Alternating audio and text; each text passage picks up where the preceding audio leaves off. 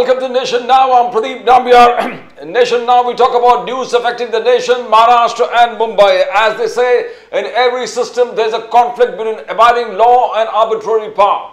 The test for every democracy, it stands or it falls according to its own choice. Whether to give supremacy to the law or to the will of the people, whether to constitute a moral association maintained by duty or a physical one kept together by force. We are joined by esteemed guests in our studios today, Nizamuddin Rain Saab from the Indian National Congress. Nizamuddin Rain Saab, Namaskar, welcome to the show, sir. Namaskar. We're joined by Mahmood Deshmukh ji from the Aam Aadmi Party. Mahmood Deshmukh ji, Namaskar, welcome to the show. नमस्कार जय Hind Jai Hind, and shortly we'll be joined by Shailesh Pandey ji from the Bharatiya Janata Party. Nizamuddin साहब आपसे शुरू करते हैं कि Tripura peace accord दस हज़ार इंसर्जेंट्स ने आर्म्स हथियार अब समर्पण कर दिया। राहुल गांधी जी जम्मू एंड कश्मीर में कहा कि स्टेटहुड को हम वापस लेके आएँगे। बैक टू स्टेटहुड आज एलजी राजा बनकर वहाँ पर बैठा है। मनीष सिसोदिया जी का जनसभा हरियाणा में। बिजली और हर प्रकार के गरीब कल्याण योजनाओं को हरियाणा में लागू कर देंगे। निजामुद्दीन साहब आपसे शुरू करते हैं कि ये Tripura peace accord north east में पीस लाने की बात कर रहे हैं। अमित शाह जी कह रहे हैं कि ज़बरदस्त तरीके से एक इम्पैक्ट करेंगे, जो कितने सालों से बरस से चल रहा था, जो वायलेंस चल रहा था, नॉर्थ ईस्ट में पीस आएगा। निजामुद्दीन जी। देखिए, देश के किसी भी हिस्से में अगर वायलेंस होता है तो वो देश को कमज़ोर करता है। वो चाहे छोटा प्रदेश हो या बड़ा प्रदेश हो, सभी को प्रयास करके देश में शांति लाने की आवश्यकता है, क्योंकि बीजेपी के 10 साल के शासन काल में पूरे हिंदुस्तान में, न सिर्फ़ त्रिपुरा, मणिपुर कश्मीर, दूसरी जगह, पूरे देश में हर जगह अराजकता है। अराजकता इसीलिए है क्योंकि वो उसी से निकले हुए रिज़ल्ट पर वो राजनीति करते हैं। इसलिए ज़रूरी है कि देश में जो लोग हैं, वो कम से कम देश के लिए तो चिंता करके ऐसा ऐसा करना चाहिए कि जहाँ इस तरह की जातियाँ हो रही हैं या जहाँ की सरकारें बिल्कुल नेग्लेक्ट कर रही हैं, उनको चाहिए कि वो देश के हर हिस्से में, वो क्योंकि भारत का कोई भी हिस्सा, भारत का दिल है हर जगह, कहीं से कोई अलग नहीं है। तो जब कहीं से देश का एक हिस्सा भी अगर कमज़ोर होगा तो वो नुकसान करेगा। तो अगर इस तरह की चीज़ें हो रही हैं तो उसका हमें स्वागत करना चाहिए। क्योंकि अगर पीस रिटर्न होगा अगर हम पूरे देश में तो हमारा डेवलपमेंट बढ़ेगा देश की साख बढ़ेगी दुनिया में। लोग नए लोग आएँगे जो बड़े पैमाने पर जो है इन्वेस्टमेंट करेंगे। क्योंकि जब अराजकता रहती है किसी प्रदेश में तो वहाँ का डेवलपमेंट रुक जाता है। तो आप उसको वेलकम करते हैं। हाँ बिल्कुल बिल्कुल। अगर देश के किसी हिस्से में नाम्बियार जी पीस होती है अगर वहाँ शांति स्थापित होती है तो हम ज़रूर स्वागत करेंगे किसी की भी ओर से हो। चाहे वो भारतीय जनता पार्टी करे चाहे कांग्रेस करे चाहे दूसरी दल करे अगर कहीं देश के किसी हिस्से में जहाँ अराजकता है अगर वहाँ पे अच्छे से पीस होता है और उसके लिए देश के लोग एकजुट होकर सोचते हैं तो उसका स्वागत किया जाना चाहिए। आज राहुल गांधी जी जम्मू एंड कश्मीर में थे जम्मू एंड कश्मीर में कहा कि स्टेटहुड को वापस मैं लेके आऊँगा। आज एलजी इस देश को जम्मू एंड कश्मीर को यू नो राजा की तरफ़ वो ट्रीट कर रहे किंगशिप चल रहा है वहाँ पर। इस पर क्या, कहोगे आप? देखिए जो मकसद से बीजेपी ने कश्मीर को डिस्ट्रॉय किया तोड़ा लद्दाख को अलग किया दूसरी चीज़ों किया वो एक भी मकसद जो है बीजेपी का हल नहीं हुआ। वहाँ ना तो आतंकवाद रुका ना वहाँ जो है किसी तरह की गतिविधि में कोई डेवलपमेंट कर सके आप एलजी के थ्रू लोगों को दबाकर सत्ता में भागीदारी नहीं कर सकते। जब तक लोगों के दिलों पर आप राज नहीं करेंगे, तब तक जनता आपको आपके साथ नहीं खड़ी होगी। राहुल गांधी ने जो जो कहा इस देश में, वो करके दिखाया राहुल गांधी ने। राहुल गांधी किसी से नफरत नहीं करते। और नफरत की जो सियासत है, ये दस सालों में बढ़ी, और नफरत की सियासत सिर्फ़ बीजेपी और आरएसएस के लोग करते हैं। इस देश में दर्जनों राजनीतिक पार्टियाँ हैं वो कभी नफरत की बात नहीं करती। जिस कश्मीर के मुद्दे को लेकर इतनी सारी चीज़ें हुई, प्रधानमंत्री जी ने 370 हटाया, दुनिया के सामने एक रोना रोया कि मैं कश्मीर को बदल रहा हूँ। कश्मीर बदला क्या? आतंकवादी घटनाएँ बदली क्या? या कश्मीरियों का कोई भविष्य बदला क्या? या हमारे कश्मीरी पंडित रिटर्न जाके वहाँ कश्मीर में बसाए क्या? तो ये राहुल गांधी पर ही कश्मीरियों को भरोसा है। कि नई सरकार जब आएगी तो आप देखेंगे कि कश्मीर बेहतर तरीके से जैसे पहले था उसी तरह से बेहतर तरीके से राज्य करेगा और वो वहाँ जो है शासन स्थापित होगा। आ, मैं शैलेश पांडे जी भी जाऊँगा। शैलेश पांडे जी बहुत ज़बरदस्त तरीके से अमित शाह जी ने कहा कि आज north east peace Tripura peace accord sign कर दिया। दस हज़ार इंसर्जेंट्स ने हथियार समर्पण समर्पण किया और peace in Tripura peace in north east एक ऐतिहासिक दिन है आज। पांडे जी। शैलेश पांडे जी।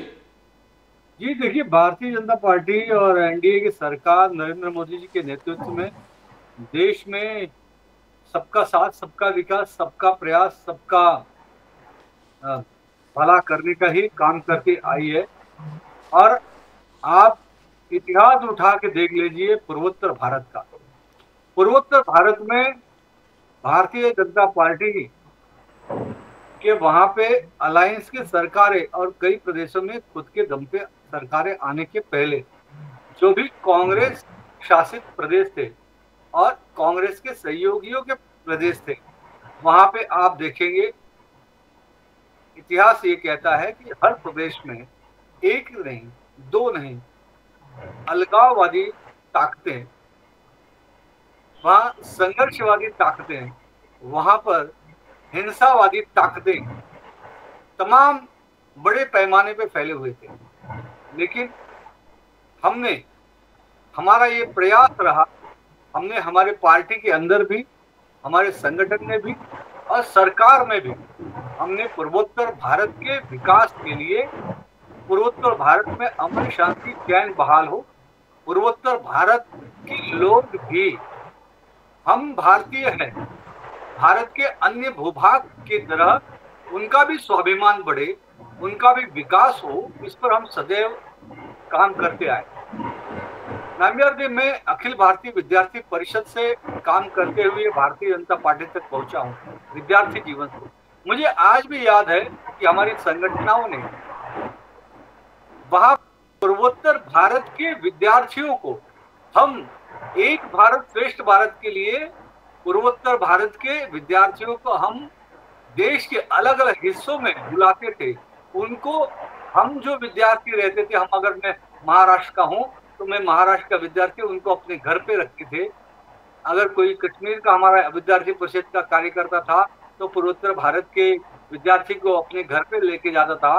उस प्रदेश की संस्कृति, सभ्यता, डेवलपमेंट, ये सारे चीज़ों से एकता के सूत्र में हम कैसे बाँध सके पिरो सके, और समरसता का माहौल, एकता का माहौल, राष्ट्रीय एकात्मता का माहौल, शांति का माहौल, हमने आज से नहीं, पिछले अनेक सत्तर सालों से लगातार बनाने की कोशिश की। और जब भी हमारी सरकार रही है, हमने सदैव पूर्वोत्तर को अपने दिल से भी ज़्यादा चाहा, और पूर्वोत्तर का विकास किस तरह से हो और अच्छे से अच्छा वो हमने कोशिश किया। और हम कोशिश कर रहे हैं और यही कारण देश, है देश एक पंक्ति है कि लहरों से डरकर नौका पार नहीं होती और कोशिश करने वालों की हार नहीं होती और हमारी हार नहीं हुई हमारी जीत हुई। आज जहाँ पूर्वोत्तर भारत में भारतीय जनता पार्टी और सहयोगी दलों की कहीं भी सत्ता नहीं थी आज आप देखेंगे अधिकतर राज्यों में हमारी सरकारें हैं हमारी सत्ता है और हम बड़े ही वहाँ का पूर्वोत्तर भारत का संपूर्ण विकास विकास विकास। के तो ऐतिहासिक दिन है। आज ऐतिहासिक दिन। शांति बहाल के लिए काम कर रहे हैं। महमूद देशमुख जी महमूद देशमुख जी दो चीज़ है आज जिस प्रकार से त्रिपुरा पीस अकॉर्ड दस हज़ार insurgents have laid down their arms और ऐतिहासिक दिन है पीस टू नॉर्थ ईस्ट और दूसरा है राहुल गांधी जी जम्मू एंड कश्मीर में। कैसे देखते हो? देशमुख जी आपका आवाज़ क्लियर नहीं आ रहा है। इंजीनियरिंग कैन जस्ट कर दीजिए वापस यस मैं रिपीट करूँ? यस अब वही ऐतिहासिक दिन है अमित शाह जी ने कहा ऐतिहासिक दिन है त्रिपुरा पीस अकॉर्ड और राहुल गांधी जम्मू एंड कश्मीर स्टेटहुड वापस लेके आएँगे। देशमुख जी। देखिए पहली बात तो ऐसा है कि मैं तो इस बात का स्वागत करता हूँ कि अगर ये वाकई में मतलब वहाँ पे शांति बहाल करने की बात कर रहे हैं लेकिन मैं एक चीज़ पांडे जी एक मैं याद दिलाना चाहता हूँ, पिछले साल भर से, साल, डेढ़ साल से लगभग लगभग मणिपुर जल रहा है। तो मणिपुर के बारे में आपने क्यों नहीं सोचा? आपने देखा होगा मणिपुर के हालात कैसे बद से बदतर थे। एक महिलाओं को मतलब नग्न करके मतलब महिलाओं को घुमाया जा रहा था, उनके वीडियो बनाए जा रहे थे। किस तरीके से लोगों पे जुल्म हो रहा था एक शब्द नहीं निकला न गृह मंत्री जी के ज़ुबान से निकला न प्रधानमंत्री जी के ज़ुबान से निकला। एकदम गलत बात एकदम गलत बात। नामबिहार जी मैं तुरंत देखिए गलत बात को मैं तुरंत टोकूँगा मैं क्षमा चाहता हूँ। मैं माफ़ी माँगता हूँ। आप- आप- एक मणिपुर में मणिपुर में अमित शाह जी ने गृह मंत्री ने एक शब्द नहीं बोला। अमित शाह जी दो बार मणिपुर जाके आए। वहाँ पर थे, आप बताइए ना अमित शाह और वहाँ पे मणिपुर में भी एक फोर्स सुनिए, वो वो उन्होंने सरेंडर किया। जो हिंसा करने वाली एक संगठन थी उनके सारे संगठन वो सरेंडर करवाया नरेंद्र मोदी देश के प्रधानमंत्री ने संसद में अपना वक्तव्य दिया। अपने जो भी काम वहाँ के शांति बहाली के लिए कर रहे थे उसकी जानकारी दी। तो आप ये नहीं कर सकते कि आप बात सुनिए, मंत्री का प्रधानमंत्री ने एक शब्द नहीं कहा। इस बात को मैं आपकी बात का खंडन करता हूँ। मेरी बात। पांडे जी पांडे जी पहला सुन लीजिए। हाँ बोलिए बोलिए अभी पांडे जी ने जवाब दे दिया। अब बोलिए बोलिए। आपके गृह जी। मंत्री जी ने मुख्यमंत्री को कहा कि आप मतलब बॉम्ब फेंकते हो। अंदर छुपके से बॉम्ब फेंकते हो। उसका क्या मतलब निकाला जाए मुझे आप बताइए ना। हाँ? क्या मतलब ये ये कौन सी बात है? ये कौन सा कोड वर्ड है? और साल भर, डेढ़ साल जलता रहा मणिपुर। और आप कहते हो दो बार जाकर आए भाई दो बार गए, चार बार गए, उसके बावजूद अगर मणिपुर जल रहा था तो इसका क्या मतलब निकाला जाए? मैंने कहा ना, अगर त्रिपुरा में अगर शांति बहाल कर रहे हैं तो वेलकम है, हम स्वागत करते हैं। हम चाहते हैं कि कश्मीर से कन्याकुमारी तक और गुजरात से आसाम बोडोलैंड तक ये देश में अमन और शांति बनी रहे, है ना? भारत देश में अमन और चैन बना रहे, अमन और शांति बनी रहना चाहिए। और जैसे अभी आपने कहा पांडे जी, कि भाई सबका साथ, सबका विकास है ना? लेकिन आप अगर गौर करेंगे तो कई जगह पे ये दोहरा मापदंड नज़र आएगा आपको, कि भाई कहाँ क्या हो रहा है, कहाँ क्या हो रहा है। तो ठीक है, अगर देर आए, दुरुस्त आए, अगर आप कहते हो तो मैं समझता हूँ। अभी भी अगर आप लोग अगर उसी पे, बात पे चलना चाहते हो, भाई, सबका साथ, सबका विकास तो आप दोहरा मापदंड मत अपनाइए, सबको साथ लेके चलिए। रही कश्मीर की बात, जैसे अभी प्रदीप जी ने कहा, कश्मीर जो है 370 जो हटाया गया, मेरा सीधा सीधा आरोप है 370 जो आपने हटाया वो सिर्फ़ और सिर्फ़ अदानी के फ़ायदे के लिए, वहाँ की ज़मीन पूरे तरीके से 370 नहीं हटा है। वहाँ पे सिर्फ़ खरीदी बिक्री का मतलब रास्ता खुला कर, कर दिया आपने। वो भी अदानी के लिए किया है। और आपको सुनिए पांडे जी सुन लीजिए बोलिए आप भी कि वहाँ पे मेरा एक सीधा सीधा आरोप है। आपको कश्मीर चाहिए कश्मीर के लोग नहीं चाहिए। मैं कहता हूँ जिस दिन भारत सरकार केंद्र सरकार तो या भारतीय जनता पार्टी की सरकार कश्मीरों को अपनाएगी है ना? तो अपने आप कश्मीर भी आपके साथ में रहेगा ही इसमें कोई शक नहीं है। आज भी वहाँ पे आतंकवादी घटना हो रही है। आज उसका भुगतान किसको भुगतना पड़ता है? हमारे जो नौजवान है वहाँ पे, जो मतलब सेना में, सेना के फौजी बन के काम करते हैं, पैरामिलिट्री फोर्स में जो काम कर रहे हैं, आज वो लोग शहीद हो रहे हैं, है ना? इनके बारे में सोचिए। सोचिए पांडे जी। राजनीति के लिए मत सोचिएगा ये मेरा कहना रहे। पांडे जी आप रिटॉर्ड रिपोर्ट कीजिए उसके बाद मैं निजामुद्दीन साहब के पास जाऊँगा। बोलिए बोलिए पांडे जी आपको कुछ कहना है विरोध में? जी जी मैं मैं मैं सिर्फ़ इतना कहना चाहूँगा कि अभी जो मेरे भाई साहब ने देशमुख जी। जी ने कहा कि तीन सौ सत्तर हटने के बाद कुछ फ़र्क नहीं पड़ा ये ये नहीं मानता। तीन सौ सत्तर हटने के बाद मैं खुद कश्मीर गया था वहाँ पे बाबा अमरनाथ की यात्रा में भी मैं गया था। वहाँ के कश्मीरी मुसलमान भाइयों से भी मिला। वो बहुत खुश हैं और वो चाहते हैं कि मोदी जी सदैव वहाँ पर अच्छा काम करते रहे, प्रधानमंत्री के रूप में वो मोदी जी को मान रहे। और दूसरी बात, जो बदलाव आए वो मैंने देखा, वो बताता हूँ। वहाँ पर श्रीनगर में कभी तिरंगा लहराने के लिए भी संघर्ष करना पड़ता था। आज शान से तिरंगा लहरा रहा है। वहाँ पर मुहर्रम की जो ताजिया की रैलियाँ होती थी, वो बीस बाईस साल से बंद थी। आज तीन सौ सत्तर हटने के बाद वो ताजिया निकल रहा है वहाँ पे मुहर्रम की रैलियाँ हो रही है। वहाँ पे भगवान राम की भी, श्री कृष्ण की भी जन्माष्टमी भी मनाई जा रही है और सर्वधर्म संभाव की भावना वहाँ पर जागृत हुआ है। जिस तरह का वहाँ पर, वहाँ के लोगों ने वहाँ स्वागत किया है, पर्यटक बड़े हैं। आज डल झील जो है वहाँ पर्यटक बड़े हैं, जो वहाँ पे धार्मिक क्षेत्र है, वहाँ पे पर्यटक बड़े हैं। आज वहाँ के लोग भी जानते हैं कि आतंकवाद से उनका कोई भला नहीं होने वाला है। पत्थरबाजी से उनका भला नहीं होने वाला है। देखिए, पहले कंपेयर करें तो पहले जो पत्थरबाजी होती थी कश्मीर के अंदर, श्रीनगर के अंदर, आज जब से धारा 370 हटा है, वहाँ पर कभी भी कोई पत्थरबाजी नहीं हुई है। आज कश्मीर के लोग कश्मीर चाहते हैं और इंसानियत चाहते हैं और वहाँ पर जमहूरियत को मज़बूत करने की दिशा में कश्मीर के लोग धारा 370 हटने का उन्होंने स्वागत किया और वहाँ पर पूर्ण शांति है। और विकास की ओर अग्रसित है। नए नए टनल बन रहे हैं नए नए हाईवे बन रहे हैं और वहाँ के लोगों के, आप इंटरव्यू देखिए, आप इस चैनल में लिए होंगे तो वहाँ के लोगों का भाई, पहले मेरे गाँव से हाईवे नहीं गया था, आज हाईवे बन रहा है। मेरे गाँव के बीच से रोड नहीं था, आज रोड जा रहा है ब्रिज बन रहा है, रोज़गार डेवलपमेंट हो रहा है, वहाँ पर विदेशी पर्यटन आ रहे हैं भारतीय पर्यटन आ रहे हैं, जिससे रोज़गार बढ़ रहा है, उनको मुनाफा हो रहा है और उनका विकास हो रहा है।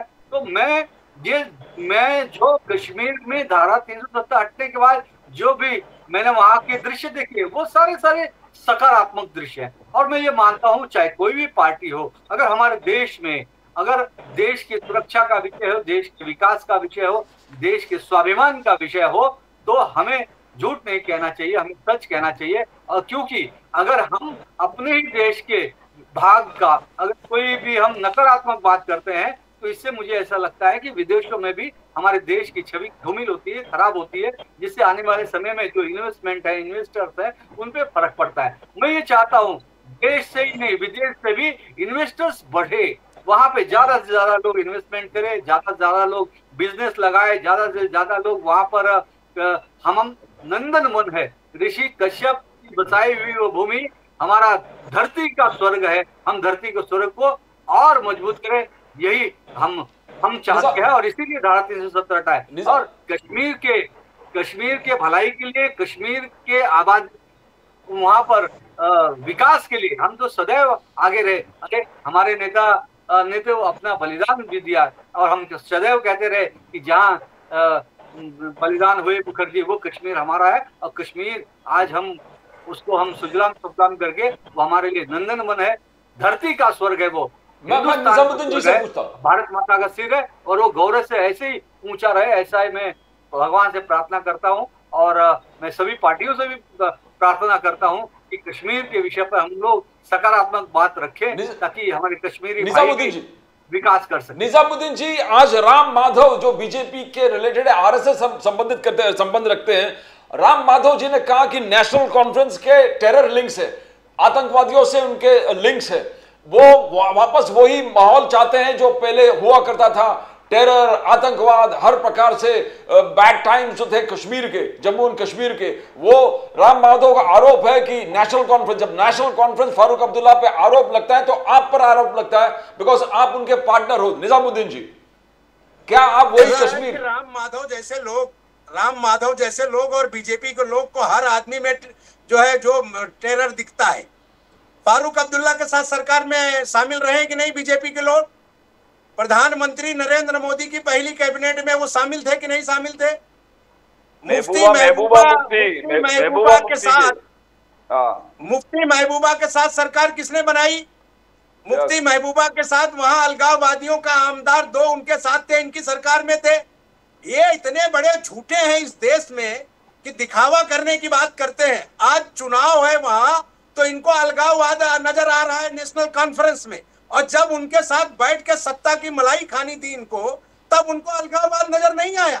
तो झूठ का जो चरित्र है, वो सबको दिखता है। और बीजेपी इस देश में सवाए झूठ के कुछ फैला रही है क्या? आप दस वर्षों में एक सत्य ला के दिखा देंगे। ये कह रहे हैं पंडित जी हमारे कि 370 हटने के बाद बड़ी व्यवस्थाएँ हो गई। 370 हटने के बाद एक दिन भी खाली गया कहा जब वहाँ आतंकवादियों ने हमारे बहादुर जवानों को नहीं मारा हो। हर दिन घटनाएँ हो रही हैं, हर दिन घटनाएँ हो रही हैं। ये सब झूठे हैं, इनको सत्ता के अलावा कुछ नहीं चाहिए। सत्ता के अलावा इनको कुछ नहीं दिखता। ये सत्ता के लिए कुछ भी करते हैं। इन्होंने समझौता किया, मुफ्ती महबूबा के साथ, उसके साथ सरकार बनाए। जिस नेशनल कॉन्फ्रेंस पर राम माधव की आप बात कर रहे हैं, उसी राम माधव की मौजूदगी में, उसी राम माधव के, तब वो इंचार्ज थे, जनरल सेक्रेटरी इंचार्ज इनके, उन्होंने कॉन्फ्रेंस को साथ लेकर सरकार बनाई। तब तो इनको टेरर लिंक नहीं दिखा। आज कांग्रेस के साथ वो चुनाव लड़ने जा रहे हैं तो इनको टेरर लिंक दिख रहा है। क्यों नहीं पुलवामा के सच को ये पंडित जी ले आते? आप पूछिए ना कि पुलवामा का सच ला के मोदी जी देश की जनता के सामने रखते कि ये सच है साहब? या जो लोग हैं, इनकार कर दे कि नहीं मार रहे? या ये बताएँ कि 370 सुनिए पंडित जी पहले सुन ले। 370 हटने के बाद एक भी हमारे कश्मीरी ब्राह्मण भाइयों को कश्मीर में ये बसा सके क्या? इनका गवर्नर राज है किसी दूसरे का नहीं एलजी इनका है दस साल से। इन्होंने एक भी कश्मीरी परिवार को बसाया क्या? ये ड्रामे करते हैं झूठे मक्कार लोग हैं। ये जो है सिर्फ़ उसका ड्रामा डर दिखा के लोगों को कश्मीरी पंडितों को आज तक ये वहाँ नहीं बसा सके। इससे ज़्यादा फेलियर बात क्या हो सकती है, सर? और जिस 370 हटाने की बात कर रहे हैं, आपके पास सारे वीडियोस हैं। एक आदमी कश्मीर का अपने घरों से बाहर नहीं निकला। छह महीने तक बंदूक की नोक पर कश्मीरियों को अंदर रख के प्रधानमंत्री ने ये सारा जनमत कराया था। ये सारा देश जानता है। इसमें मैं किसी पार्टी और दूसरे की बात नहीं करता। मैं पंडित जी के एक बात से सहमत हूँ कि देश के लिए खड़े रहिए, कुर्बानी दीजिए, बिल्कुल दीजिए। सबसे पहले आपसे पहले आने के लिए तैयार हैं। लेकिन झूठ तो मत परोसिए भाई। 370 कैसे आपने हटा के क्या हालत किया कश्मीर की? आपको हमसे बेहतर पता है। और ये सारे फुटेज इसी टीवी चैनल पर हैं, क्योंकि मैं तब भी डिबेट में आपके यहाँ था। आप लगा के देख लीजिए आज भी। तो इसलिए इनके चाल चरित्र चेहरे पर मत जाइए। ये झूठों के सरदार हैं। दस साल से इस देश में सिवाय झूठ परोसने के दूसरा कोई काम नहीं कर पांडे जी बोलिए बोलिए आपका आरोप लगा। देखिए देखिए एक डेवलपमेंट मैं इनका मानता हूँ इस देश में वो है रोड बनाने का वो भी बीजेपी का कोई रोल नहीं है उसमें न मोदी प्रधानमंत्री का कोई रोल है उसमें रोल नितिन गडकरी का पर्सनल है और वो सारा पैसा जो है पब्लिक पार्टनरशिप से आया है। भारत सरकार का एक रुपया नहीं लगा है दर्जन भर बार नितिन गडकरी का इंटरव्यू आया है कि हमने भारत सरकार का एक रुपया नहीं लगाया है। इसलिए झूठ बोलकर देश को बेवकूफ़ बनाकर झूठ बोलते हो सत्यता रखना पड़ता है। पांडे जी। चलिए रईस भाई धन्यवाद आपका बहुत बहुत धन्यवाद कि आपने कम से कम नितिन गडकरी जी के काम का बखान तो किया बहुत बहुत धन्यवाद। मैं हमने नहीं संसद में भी लोगों ने किया है। नितिन गडकरी बीजेपी के नेता नहीं है। नितिन हाँ। गडकरी देश की नब्ज को जानते हैं। वो प्रधानमंत्री की तरह झूठ नहीं बोलते। कि हर हाँ। दो मिनट पर प्रधानमंत्री और मुख्य आपके गृह मंत्री सिवाय झूठ के आज तक कुछ भी नहीं परोसा है आप इतिहास अच्छा। उठा के देखिए पंद्रह साल में तो आपको हर एक स्टेटमेंट में आपको झूठ नज़र आ जाएगा। जी मैं बोल सकता हूँ हाँ, बिल्कुल बोलिए ना कोई रोक नहीं देखिए देखिए रईस भाई मैंने आपके बीच में आपके बातों को काटा नहीं। आपने बहुत ही बेहतरीन तरीके से झूठ परोसा है देश की जनता के सामने। फिर भी मैं उसका मुस्कुराकर स्वागत करता हूँ। क्योंकि इस देश की जनता ने आपके झूठ का पर्दाफाश कर दिया है। इसीलिए देश के यशस्वी प्रधानमंत्री आदरणीय नरेंद्र मोदी जी लगातार ऐतिहासिक रूप से तीसरी बार प्रधानमंत्री बने, क्योंकि आपने बहुत झूठ बोला, बहुत झूठ भरोसा देश की जनता के सामने संविधान खतरे में, आरक्षण खतरे में। और आज कितने कितने बेशर्मी से, कितने बेहतरीन तरीके से आप अभी चैनल पे झूठ बोल रहे हैं कि नितिन गडकरी भारतीय जनता पार्टी के नेता नहीं है। वो अच्छा मुझे बताइए, आप नितिन गडकरी, नामियार जी, आप नितिन गडकरी जी को फ़ोन लगाइए और पूछिए कि वो भारतीय जनता पार्टी के नेता है या नहीं है। भारतीय जनता पार्टी का तो सदस्यता अभियान अभी चल रहा है। अभी उन्होंने मेंबरशिप भी फिर से लिया होगा और भारतीय जनता पार्टी के आज से नेता नहीं है। वो तो राष्ट्रीय स्वयंसेवक संघ के स्वयं सेवक रहे। वो राष्ट्रीय स्वयंसेवक संघ के, संघ परिवार के नेता रहे। वो उसके बाद अखिल भारतीय विद्यार्थी परिषद के नेता रहे। उसके बाद भारतीय जनता पार्टी की आज सर्वोच्च नेता है वो। आज आज उन, उनका जो देखिए यही तो उनकी खासियत है कि आज आप विरोधी पक्ष के नेता होके भी नितिन गडकरी जी के बहुत बेहतरीन ढंग से खुले दिल से आप उनका तारीफ़ कर रहे हैं उनके काम का तारीफ़ कर रहे हैं। लेकिन उसी तरह से आप बड़े चालाकी से ये झूठ भी बोल रहे हो कि वो भारतीय जनता पार्टी के नेता नहीं है। अरे भारतीय जनता पार्टी के सर्वोच्च नेता नितिन गडकरी है ये पूरी जनता जानती है पूरी देश की लोग जानते हैं। सब जानते हैं। चलिए, मुझे इस बात का संतोष है कि कम से कम आपने नितिन जी का काम का बखान किया। बहुत बहुत धन्यवाद आपका।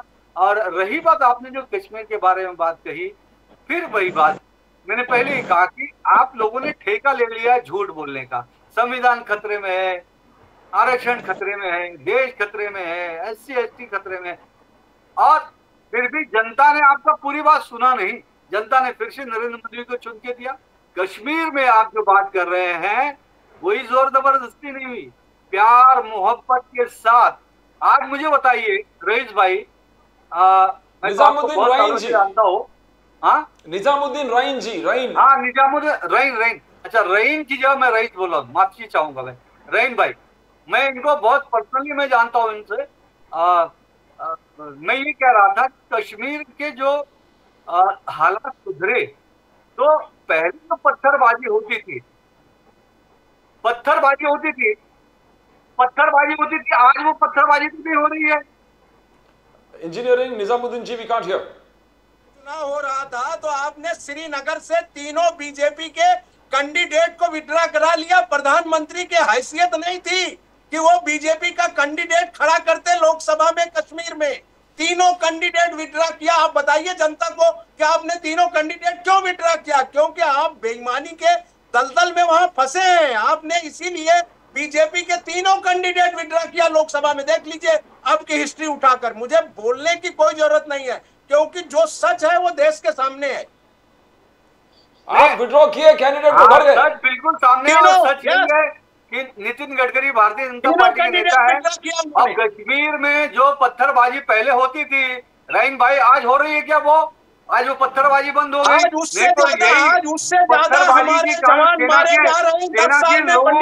पत्थरबाजी हैं होती थी।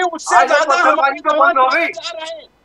आज वहाँ पे खुशहाली है आज। पर्यटन पर्यटन कश्मीर में बढ़ रहा है इसलिए आप खुश हैं। होना चाहिए आपको खुश। देश के हमारे नागरिक हैं। वो दुखी थे, पीड़ित थे।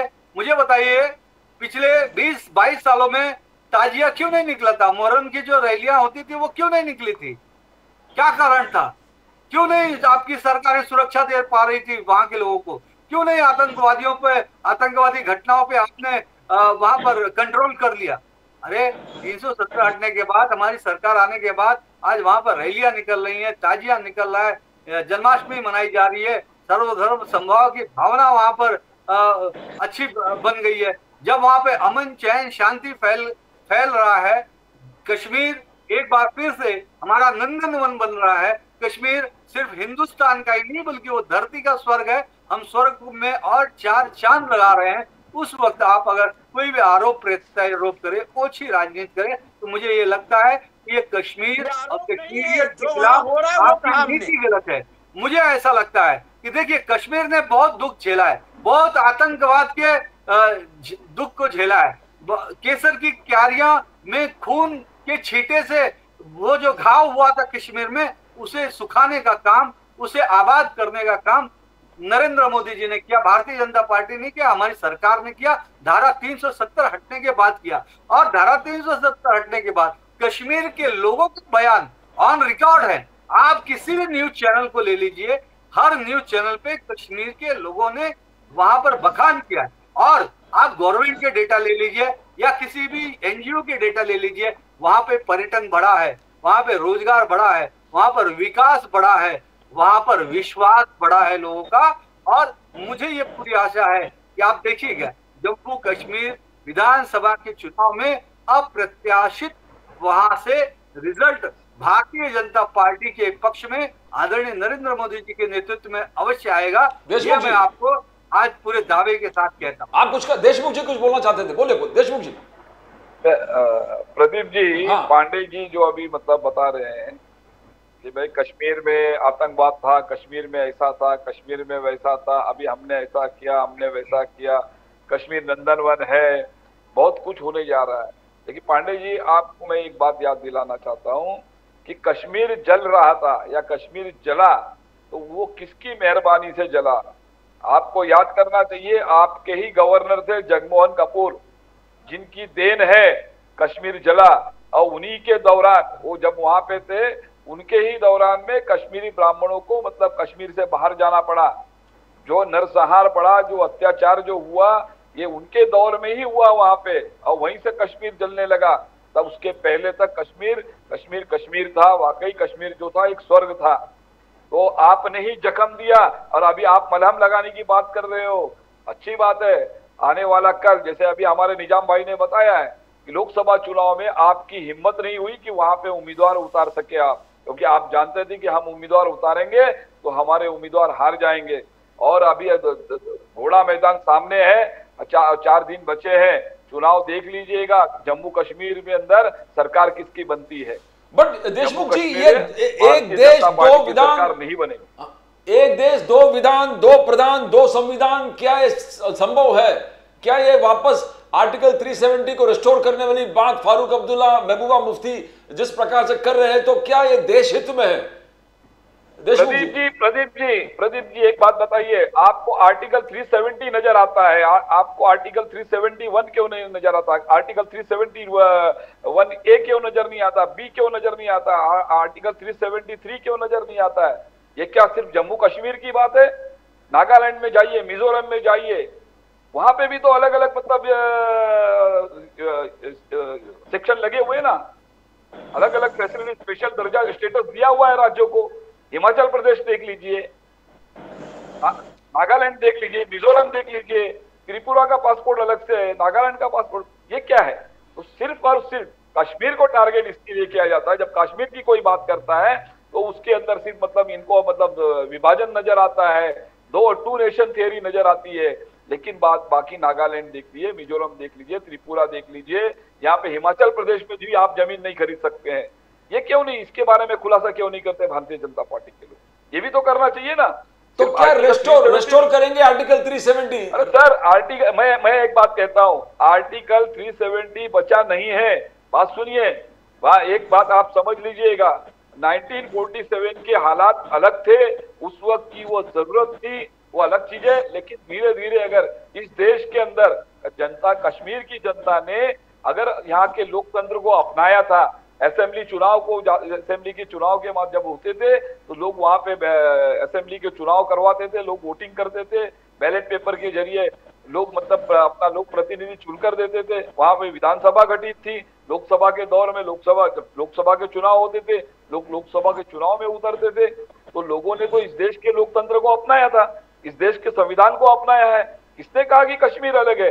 ये तो भारतीय जनता पार्टी का एक ड्रामा है, स्टंट है कि कश्मीर कश्मीर जम्मू कश्मीर जम्मू कश्मीर करके सिर्फ़ और सिर्फ़ मैंने कहा ना कि ये इनके जो मित्र है हमारे देश के प्रधानमंत्री नरेंद्र मोदी जी के जो परम मित्र है जो गौतम अदानी जी उनको वहाँ पे जम्मू कश्मीर की जमीनों का फ़ायदा दिलाने के लिए जम्मू जम्मू कश्मीर के अंदर ज़मीन खरीद सके इसके लिए उन्हें पांडे जी आज भी राहुल गांधी जी ने आरोप लगा दिया कि दो लोग चला रहे पूरे देश को कश्मीर जम्मू और कश्मीर से उन्होंने आरोप लगा दिया है। तो क्या जो महमूद देशमुख जी, निजामुद्दीन राइन साहब जब बोल रहे हैं, कितना सच्चाई है उसमें? पांडे जी।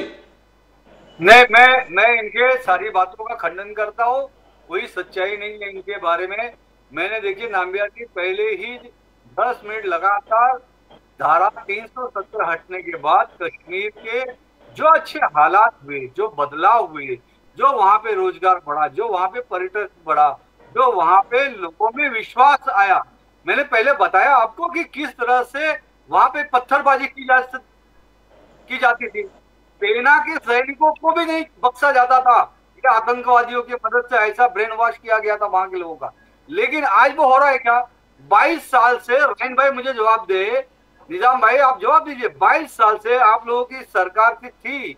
क्यों नहीं मुहर्रम का ताजिया निकला? कश्मीर के अंदर। निजामुद्दीन जी मोहर्रम का ताजिया नहीं निकला। और ये बदलाव जो हम आए तो मुहर्रम का ताजिया देखिए मुहर्रम का ताजिया ये धार्मिक विषय नहीं है। ये विषय यह है कि लॉ एंड ऑर्डर की व्यवस्था का इशू है। लॉ एंड ऑर्डर की व्यवस्था लॉ एंड ऑर्डर खराब था इसीलिए तो वो वो जो रैलियाँ थी वो नहीं हो रही थी ताजिया नहीं निकल रहा था। किसने आपसे रैलियाँ नहीं निकल रही थी? आपने जाके देखा सही रखते तो वो तालियाँ निकलता था। मनाई जाती थी। है। वो श्रीनगर के लाल तिरंगा है, जाता था। अगर आप उसके इतिहास में जाएँगे बात थी कि हमारे तो देश में भी हमारे सुनिए देश में हम तिरंगा नहीं। लहरा सकते थे आज कितनी बड़ी तो शर्मिंदगी की बात हूँ थी आपके शासन काल में अगर आप वो चीज़ें एक्सेप्ट नहीं हो करेंगे इसमें अभी आपने इंसानियत बात कही हमारे नेता ने राष्ट्रपति वहाँ मर की वो एक्सेप्ट नहीं कुर्बानी की करेंगे। पांडे जी ये ये हालात में महबूबा जिम्मेदार तिरंगा उठाने वाला कोई नहीं लोग आपको आपको पता भी नहीं है कि कांग्रेस मंत्री मनोज जोशी को अपनी गाड़ी में बैठा के तिरंगा कांग्रेस पार्टी आज कांग्रेस पार्टी नेशनल कॉन्फ्रेंस ये कह रही है। सुन लो। ये आप क्या कह रहे हैं? आपका एजेंडा क्या है? सुनो। कश्मीर के लिए क्या एजेंडा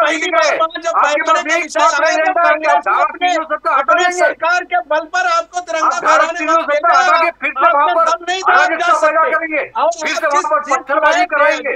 फिर से वहाँ पर लोगों को मुखर्जी साहब को भी नेहरू ने अपनी कैबिनेट में कश्मीर मामलों का मंत्री बनाया। ऐसा नहीं था कि उनको अलग थलग छोड़ा। तो आप उस विषय पर बात करना बंद कर दें क्योंकि आपको अच्छे से पता है कि जब आप जनप्रतिनिधि वहाँ नाम अनाउंस करके आपने अपने तीनों लोकसभा के तो जवाहरलाल नेहरू जी ने उनको लिया था सिर्फ़ तो वो पहली कैबिनेट बनी थी वो सभी दलों के लोगों की बनी थी। जनता मेहरबानी नहीं की थी। वो कोई मेहरबानी नहीं की थी। वो कोई मेहरबानी नहीं की थी। देखिए उसके साथ ये भी बताइए उसके साथ ये भी बताइए कि कांग्रेस पार्टी ने लोकमान्य तिलक जी के साथ क्या व्यवहार किया? कांग्रेस पार्टी ने नेताजी सुभाष चंद्र बोस के साथ कितना व्यवहार किया? वो वो वो राष्ट्रीय अध्यक्ष चुने गए थे लेकिन उनको राष्ट्रीय अध्यक्ष हटाने का षडयंत्र तो किया गया। नेताजी सुभाष चंद्र बोस जिन्होंने जिन्होंने आज़ादी की पहली सशस्त्र क्रांति की लड़ाई लड़ी। आज़ाद हिंद सेना की स्थापना की। आपने उनका अपमान किया। आपने डॉक्टर बाबा साहब अंबेडकर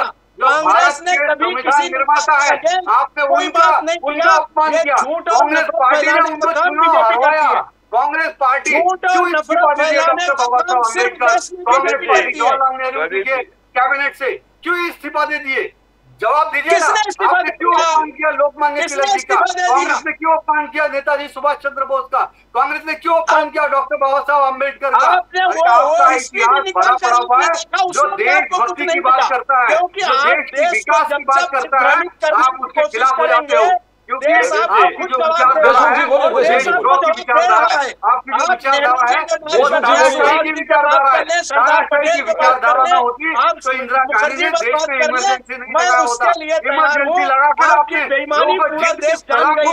चार सौ सीट ला रहे थे आप दो सौ में आपको पहुँचा दिया। तीन राज्यों के चुनाव में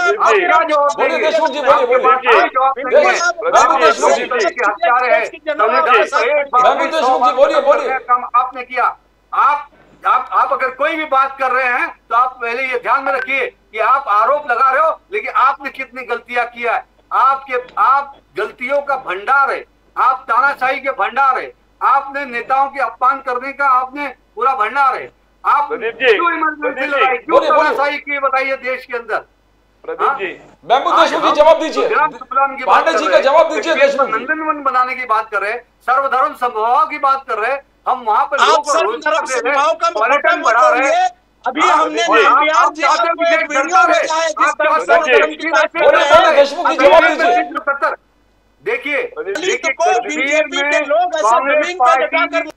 कल मध्य प्रदेश में जहाँ की जवाब दीजिए। कल उन्नीस तारीख को महिला का बलात्कार होता है। पाँच घंटे उसको बगैर कपड़ों को कल कल जो है के पर क्या सब बात करेंगे कल जो घटना हरियाणा में हुई देशमुख जी बोलिए देशमुख जी बोलना चाहते थे। देशमुख जी बोलिए। प्रदीप जी। हाँ बोलिए बोलिए मैं सुन रहा हूँ। हाँ। बोलिए बोलिए। देशमुख जी कुछ बोलना चाहते थे आप? पांडे जी। हाँ। और सब एक साथ बोलेंगे तो समझ में नहीं आएगा क्या नहीं पांडे जी जवाब दे रहे हाँ, देशमुख जी जवाब दे रहे आप। मैं बीच में नहीं बोला लेकिन मैं जब बोलता हूँ तो आप तुरंत आप उस पर बोलना चालू करते हैं। नहीं पांडे जी आप बोले तो देशमुख जी आपका जवाब देंगे। तो निज़ाम भाई बोले मैं नहीं बात किया। आम आदमी पार्टी के प्रवक्ता बोले मैं नहीं बात किया। मुझे जब आपने कहा बोलने के लिए हाँ। तभी मैंने बात किया। बिल्कुल बात को वो आप उसमें बोलेंगे। देखिए आप जो बात रखे आपको पूरी स्वतंत्रता है अभिव्यक्ति की आज़ादी है। आप अपनी बात अच्छी तरह से रखिए।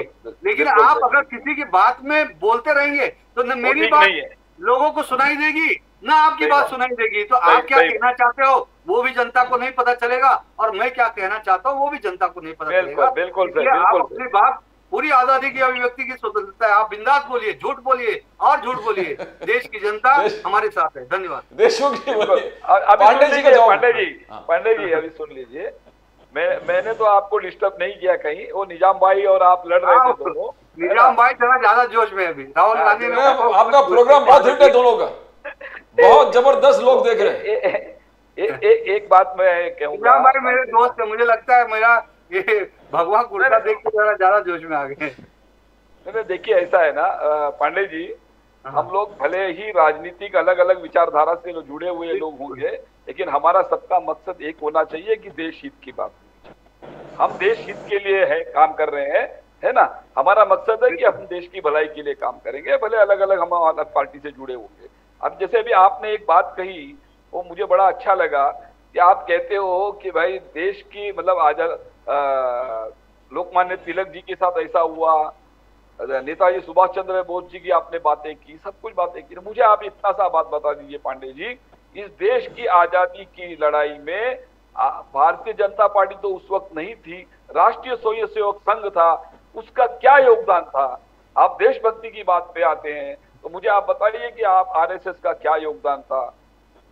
कुछ नहीं था मैं कहूँगा। अरे आज़ादी की मैं आपको बताता हूँ ना। सुनिए। एक लाइन बोलता हूँ मैं ज़्यादा नहीं बोलूँगा बोलूँ। मान सम्मान की बात करते हैं मान सम्मान की बात करते हैं। मैं कहता हूँ कि देखिए आपके ही पार्टी के वरिष्ठ नेता अटल बिहारी वाजपेयी जी स्वर्गीय अटल बिहारी वाजपेयी जी मैं समझता हूँ वो एक आदरणीय नेता थे। सभी पार्टी के नेता जो थे सभी पार्टी का कार्यकर्ता उनका रिस्पेक्ट करते थे अपना दिल से है ना?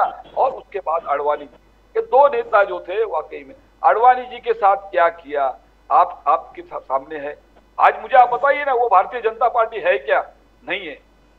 जो भारतीय जनता पार्टी सिद्धांत की बात करती थी कल तक, जो अटल जी और अडवाणी जी की पार्टी कहलाती थी, जो आदर्शवाद की बात करती थी, सिद्धांतवाद की बात करती थी, आज वो भारतीय जनता पार्टी नहीं है। आज व्यापारियों की पार्टी है। आज सिर्फ़ और सिर्फ़ दो लोग इस पार्टी को चला रहे हैं। एक कौन है? तो मोदी जी और शाह जी। और किसके लिए काम कर रहे हैं? देश चला रहे हैं। तो अदानी और अंबानी के लिए चला रहे हैं। ये आप मानिएगा सुनिए सुनिए बहुत बड़ा चार्ज लगा दिया पांडे जी आप पे। अडानी हम आज राहुल गांधी जी वही चार्ज लगा दिए जम्मू एंड कश्मीर से। अहमद पांडे जी जवाब दीजिए। अरे मैं मैं पूछता हूँ इनको अंबानी को पैदा किसने किया? अंबानी को किसने बड़ा बनाया? हमारा तो शासन नहीं था। नरेंद्र मोदी जी तो अभी दस साढ़े दस साल से प्रधानमंत्री है। इसके पहले कौन देश के प्रधानमंत्री थे किस पार्टी के देश के प्रधानमंत्री थे? तभी भी अंबानी जी देश के सर्वोच्च व्यापारी थे सबसे बड़े बिजनेसमैन थे एशिया के। सबसे बड़े रईस थे वो। पांडे जी तो अभी मैं मैं बोलूँ कि कांग्रेस पार्टी ने उनको आगे बढ़ाया है? कांग्रेस पार्टी उसमें मतलब गांधी परिवार का पूरा पैसा लगा हुआ है मैं ऐसा बोलूँ? मैं, मैं ऐसा आरोप करता हूँ तो क्या आप जवाब देंगे उसका? हाँ मैं मैं जवाब देता हूँ आपको मैं जवाब हाँ। देता हूँ। अगर आप इसके दस साल पीछे जाइए देखिए, ऐसा है ना, देश के आज़ादी के वक्त से अगर आप देखेंगे तो इस देश के अंदर टाटा और बिरला, है ना, ये दो बड़े उद्योगपति घराने थे। और राजनीति जब लोकतंत्र जो है, लोकतंत्र के अंदर मतलब कोई भी राजनीतिक दल जो होता है, उसको चंदा लेना पड़ता है, बगैर चंदा के कोई भी राजनीतिक दल नहीं चलता। या कोई भी सार्वजनिक संस्था होती है, सामाजिक संस्था हो, या राजनीतिक संस्था हो, उनको डोनेशन कहीं ना कहीं लेना पड़ता है फंड रेजिंग करना पड़ता है। तो ठीक है, लेकिन जिस तरीके से जो दखलंदाजी आज इस दस साल के अंदर हो रही है इन उद्योगपतियों की, इसके पहले नहीं था। मैं कहता हूँ, ये मुकेश अंबानी भले ही मतलब उस दौर में चले होंगे, लेकिन मुकेश अंबानी की हिम्मत नहीं थी कि वो राहुल गांधी के कंधे पे हाथ रखते हुए राजीव गांधी के सॉरी राजीव गांधी के कंधे पे हाथ रखते हुए अभी आपने देखा होगा, कई ऐसे तस्वीरें होंगी जब मोदी जी के कंधे पे मुकेश अंबानी हाथ रख के बात कर रहा है। क्या हैसियत है मुकेश अंबानी की? मैं समझता हूँ। इस देश के प्रधानमंत्री के कंधे पे हाथ रखने वाला एक उद्योगपति है है ना? इसका क्या मायना क्या क्या मतलब निकलना चाहिए आप मुझे बताइए। और अंबानी अदानी की बात प्रधानमंत्री कह सकते हैं ना। आज आज अदानी की बात अगर सहजता कह सकते हैं। प्रधानमंत्री जी गुजरात के लगातार पंद्रह साल मुख्यमंत्री थे। वो दोनों की देखिए चलता रहा जुलने का जो अंदाज रहा वो बड़ा ही पांडे जी, व्यावहारिक रहा पांडे जी, पांडे नहीं नहीं पांडे जी कोई शिष्टाचार होता है प्रोटोकॉल होता है डिसिप्लिन होता है इस देश के प्रधानमंत्री के कंधे पे अगर एक बिजनेसमैन अगर हाथ रखता है इसका मतलब दुनिया में क्या संदेश जाता है पूरे देश में क्या संदेश जाता है कि इस प्रधानमंत्री मेरे इशारे पे चल सकता है। और गौतम अदानी को आप देखेंगे वो पोर्ट ट्रस्ट इसको दे दिया हवाई अड्डे दे दिए सब कुछ दे रहे हैं मतलब सब कुछ अदानी को ही दिए जा रहे हो। मुंबई आधी मुंबई आपने अदानी के मतलब गले में डाल दिया है जेब में रख दिया है। इससे नहीं नहीं मतलब ये, ये, है? ये आरोप निराधार है ये आरोप ये आरोप नहीं हकीकत है। ऐसा दे दिया मतलब ऐसा उठा के उठा के हाथ में दे दिया ऐसा नहीं है। ये सिस्टम है। टेंडरिंग का सिस्टम है। आ, बहुत सारे लोग उसके अंदर पार्टिसिपेट करते हैं जो उसके लिए एलिजिबल रहता है उसको वो चीज़ें मिलती हैं। ऐसा थोड़ी नहीं है कि उठा उठा के जेब में रखा हुआ है उठा के दे दिया जेब में रखा उठा के चॉकलेट थोड़ी नहीं उठा के दे दे रहे दिया सर। अरे वो टेंडरिंग प्रोसेस होता है हैं। जो कंपनियाँ एलिजिबल रहेंगी उसके लिए उसको मिलेगा। जो कंपनियाँ एलिजिबल रही उसको मिला। के लिए तो पहले पहले सारे पहले भी आप बोले सारे तो उसका अंबानी पार्टनर मैं बोलूँ कि अपना टाटा बिरला पहले भी थे आज भी है आज भी वो काम कर रहे हैं। आज भी बहुत सारे कॉन्ट्रैक्ट की जो कंपनियाँ पुराने एल वगैरह थी आज भी एल काम कर रही है। और अभी नए लोग भी काम कर रहे हैं, पुराने लोग भी काम कर रहे हैं। लेकिन जिस तरह से आप जो टारगेट करने की बात कर रहे हैं, मैं उसको सही नहीं मानता हूँ। और ये पूरा आज कंपटीशन का यूज़ है, युग है। ऑनलाइन टेंडरिंग हो रहा है। आप कोई भी चीज़ें ऑनलाइन देख सकते हो ऑनलाइन आप भी पार्टिसिपेट कर सकते हो उसके अंदर। और जो एलिजिबल रहेगा, जो क्राइटेरिया रहती है रूल्स रेगुलेशन में जो बैठता है वो वो पार्टिसिपेट करता है और जो मैं मैं मैं महाराष्ट्र के मुद्दे पर आता हूँ। निजामुद्दीन जी बहुत इंपॉर्टेंट चीज़ है। जवाहरलाल नेहरू जी के जो छत्रपति शिवाजी महाराज पर टिप्पणी सूरत सूरत में जो रेड किया था वो रेड क्या था। आज सब लोग उसमें इन्वॉल्व फडणवीस साहब ने कहा कि अ, किस लिए छत्रपति शिवाजी महाराज वहाँ पर गए थे सूरत में? और आपने हमेशा इतिहास को गलत बताया। कांग्रेस ने इतने साल पूरे डेकेड्स इंडिपेंडेंस से इतिहास में शिवाजी महाराज का रॉन्ग डिपिक्शन किए फडणवीस। आज शरद पवार जी ने भी कुछ कहा कि फडणवीस साहब ने हिस्ट्री का रॉन्ग प्रोजेक्शन कर रहे तो निजामुद्दीन जी साहब है क्या? ये क्या है? छत्रपति शिवाजी जो रियलिटी है छत्रपति शिवाजी महाराज सबके आराध्य देव हैं। छत्रपति शिवाजी महाराज पर किसी का अधिकार नहीं है। वो पूरे देश के हैं देश के लिए हैं। लेकिन जिस तरह का भ्रष्टाचार ये भ्रष्टाचारी इनकी सरकार है जो कर रही है छत्रपति शिवाजी के साथ ये कभी संभव था? जब उनके ऊपर इतना बड़ा आरोप लगा नहीं, बल्कि सामने से हो गया कि प्रधानमंत्री को दंडवत गिर के मांगना पड़ा माफ़ी किसके लिए मांगना पड़ा? इन भ्रष्टाचार चोर सरकार की, महाराष्ट्र की। अगर ये भ्रष्टाचारी चोर सरकार पैसे में कमीशन लेकर वो मूर्ति सही तरीके से लगने दी होती, कमीशन नहीं खाया होता और जितना पैसा सरकार ने उसके लिए फंडिंग किया था, अगर वो मूर्ति बनती तो कभी नुकसान नहीं होता। तीन चोरों के लिए प्रधानमंत्री को भी माफ़ी मांगना पड़ा। अब उसके बाद जब जनता ने इनको धुतकार दिया तो अब ये नया नया इतिहास खोज के लाए, क्योंकि इनके पास तो कुछ बाप दादा का कोई इतिहास है नहीं। महमूद देशमुख साहब ने बड़ी अच्छी बात इनसे कही कि भाई, आपने क्या किया, वही बता दीजिए। आपने देश की आज़ादी होने तक, नेहरू के प्रधानमंत्री बनने तक, देश की लड़ाई में क्या रोल है, ये बता दीजिए। तो इनके पास बताने के लिए तो कुछ है नहीं। तो आरोप लगाने के लिए इनके पास यही सब है। अब छत्रपति शिवाजी महाराज जैसी हैसियत वाले एक छत्रपत का अगर ये हसर कर सकते हैं तो बाकी के जितने प्रोजेक्ट हैं, उनका क्या हाल है? उसमें कितना कमीशन खोरी हो रही, कितना लूट रहे पूरा महाराष्ट्र देख रहा है। तो वो हालत महाराष्ट्र की लॉ एंड ऑर्डर व्यवस्था आप देख रहे हो। एक लाख महिलाएँ, एक लाख महिलाएँ, पंडित जी लिख लीजिए आप, पाँच सालों में महाराष्ट्र से गायब हो गई। एक लाख महिलाएँ जो विधानसभा में सवाल का जवाब दिया है इन्होंने, वो महिलाओं का आज तक पता नहीं है। लगातार रेप की घटनाएँ हर 27 मिनट पर। लॉ एंड ऑर्डर की हाल है कि पुलिस की कोई सुनता नहीं। कल आपने देखा कि एक चार पुलिस अधिकारी सस्पेंड हुए ड्रग्स किसी के जेब में रख रहे हैं और वो उसको फंसा रहे हैं। ये हालत है गृह विभाग का, जिस राज्य में 12 घंटे लगातार 12 घंटे लगातार अपराध होने के बाद एफआईआर दर्ज नहीं हो, उस राज्य के गृह मंत्री को त्याग पत्र देना चाहिए और मुख्यमंत्री को चाहिए कि त्याग पत्र ले ले। लेकिन ये तो भ्रष्टाचार में डूबे हैं कई कौन से एमएलए को गिराना है, कौन सी पार्टी को तोड़ना है, किससे पैसा, चंदा लेने की बात पंडित जी अभी कर रहे थे ना? मांस बेचने वालों का भी ढाई सौ करोड़ रुपया ये खा गए। अब ये बीफ, ब्राह्मण है मेरे मित्र हैं। मैं इन पर यह आरोप नहीं करता लेकिन बीजेपी ने यह सब किया और पूरा देश देख रहा है। तो इनसे महाराष्ट्र का कुछ संबंध नहीं है। गलती से जनता ने इनको चुना भी नहीं था। ये तो तोड़ फोड़ करके आ गए और उसका सबक इनको सिखा दिया जनता ने कि महाराष्ट्र में लोकसभा के 31 सीटों को लेकर इनको लात मार दिया। अब जो है विधानसभा का चुनाव ये भगा रहे हैं। इनको एक नई आस जाग गई है कि हम पैसा लाडली बहना के खाते में डाल के वोट ले लेंगे। महाराष्ट्र की बहनें बहुत स्वाभिमानी है। इनको वोट भी नहीं देंगे और इनको सबक भी सिखा देंगे। पांडे जी लोकतंत्र नहीं लूटतंत्र है निजामुद्दीन जी कह रहे हैं। निजामुद्दीन जी का पूरा समप है समक्ष है कि लोकतंत्र नहीं? लूटतंत्र बोलिए बोलिए पांडे जी। मुझे थोड़ा वक्त दीजिए हाँ वक्त है। वक्त वक्त है। आपके बाद महमूद बहुत सारे प्रश्न मेरे मित्र निज़ाम भाई ने बहुत सारे प्रश्न रखे। करप्शन पहले तो बोलिए बोलिए पांडे जी।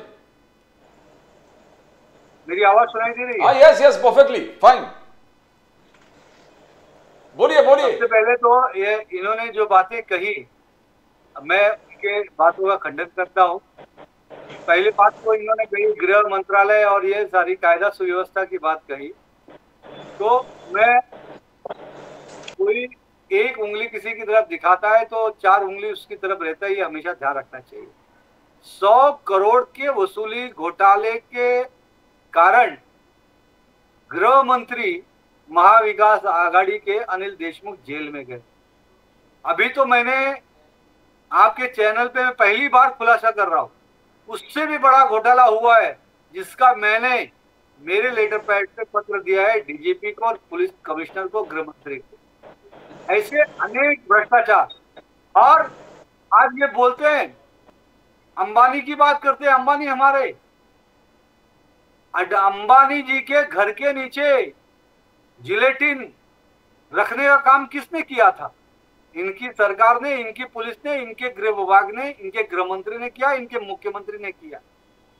आज उसके लिए एक मनसुख हिरेन जैसे व्यक्ति का इन्होंने हत्या करके उसको खाड़ी के अंदर फेंक दिया। हत्यारे हैं ये, वसूली बाज है ये, भ्रष्टाचार है, कानून व्यवस्था, सत्यानाश कर दिया था इन्होंने महाराष्ट्र की। कोविड के अंदर, कोविड के अंदर कोविड में घोटाला किया, इन्होंने अनाज का घोटाला किया, पीपी किट का घोटाला किया और यहाँ तक की हद हो गई, कफन तक का, पीपी किट का भी घोटाला इन्होंने किया।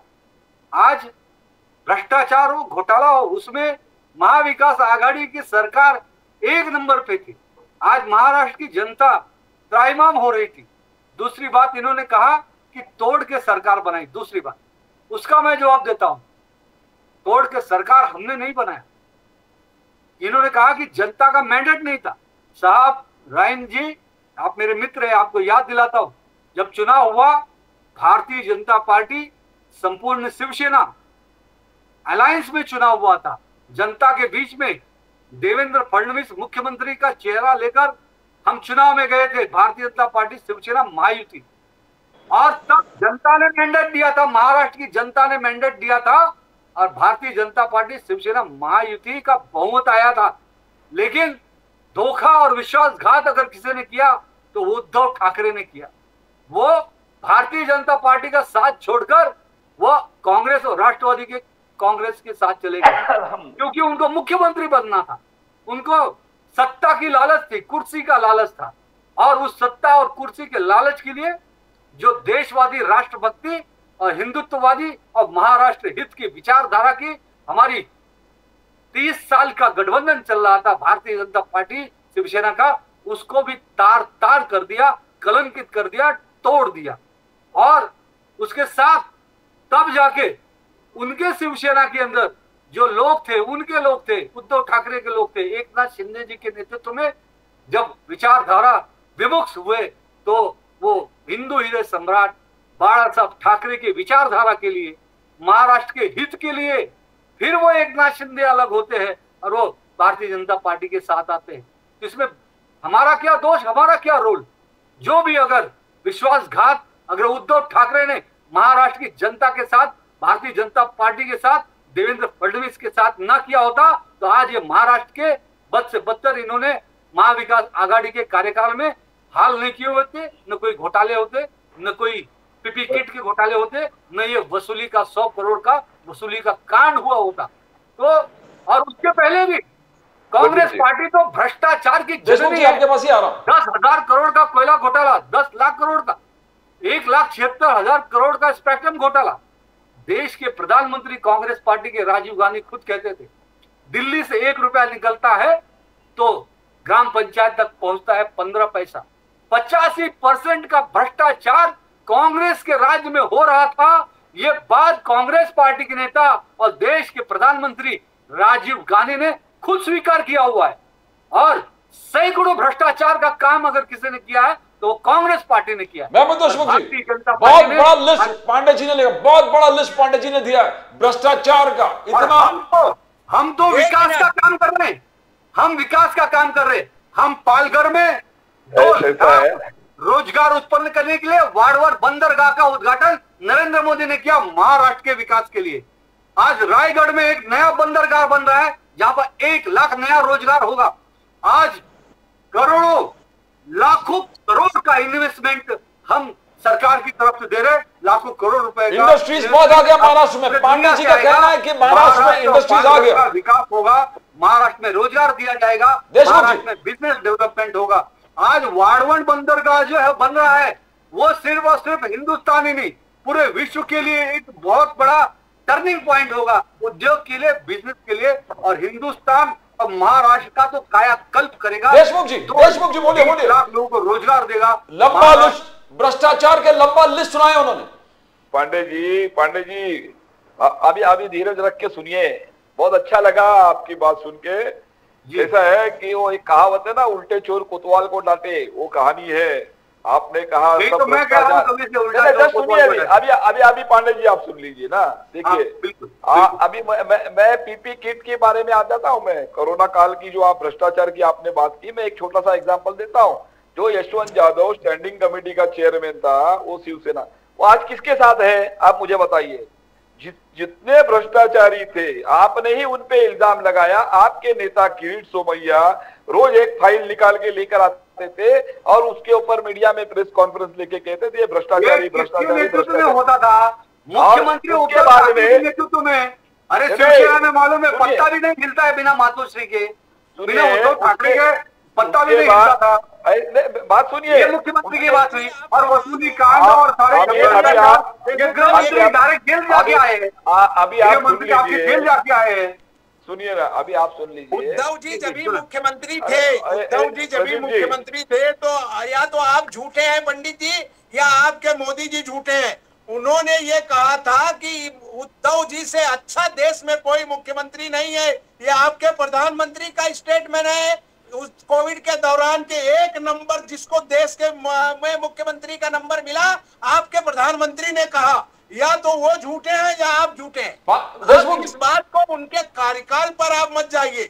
सारे भ्रष्टाचार तो ये जो घोटाले उजागर हुए आपके अजीत दादा को तो को उनके कौन स्टेटमेंट लाया? के बाद गए ना। अजीत दादा को कौन लाया भी पता होगा। कि इनके लाया? काली कारनामे अभी क्या है? देशमुख साहब ने कहा कि यशवंत काली यादव का कारनामे बाद में पता चलेगा प्रताप सर यशवंत यादव हमें पता लगा था कि हुजूर बड़े अच्छे हैं लेकिन हुजूर अंदर क्या खिलाएँगे। गुल खिला रही है हमको पता में नहीं था। ये मोदी जी को थोड़ी ना पता जी, था। सारे ऐसा को इन्वेस्टिगेशन आप हुआ पानी इन्वेस्टिगेशन के बाद ये सारी चीज़ें आई प्रदीप जी ये बीच में बीच में बातें होती है मज़ा नहीं आया बोलो, बोलो, देशमुख जी, बोलिए, बोलिए, बोलिए, आप- बोलिए। बात कर रहा हूँ बोलिए बोलिए बोलिए बोलिए बोलिए हैं। बोलिए जल्दी बोलिए मैं, पांडे जी के जो बातों का जवाब देना चाहता हाँ, हाँ, हूँ। बोलिए। पांडे मैं आपको है पूरा? समय दूँगा आप बिंदास बोलिए जितना चाहिए उतना बोलिए बहुत बहुत बहुत शुक्रिया पांडे जी जैसे अभी आपने कहा ना लॉ एंड ऑर्डर की परिस्थिति मुझे आप बता दीजिए पांडे जी आज महाराष्ट्र के अंदर आ, अभी आपने तो बता दिया कि भाई कांग्रेस के राज में जो हुआ जो हुआ ठीक है है ना? ऐसा हो रहा था वैसे हो रहा था जो भी पूछे। मुझे आज आप बता दीजिए आपके ही पार्टी का एक विधायक किस तरीके से बात करता है? वो आप कहते हो कि भाई मैं आप मोदी जी कहते हो कि भाई मोदी जी सर्वधर्म संभाव की बात कर रहे हैं।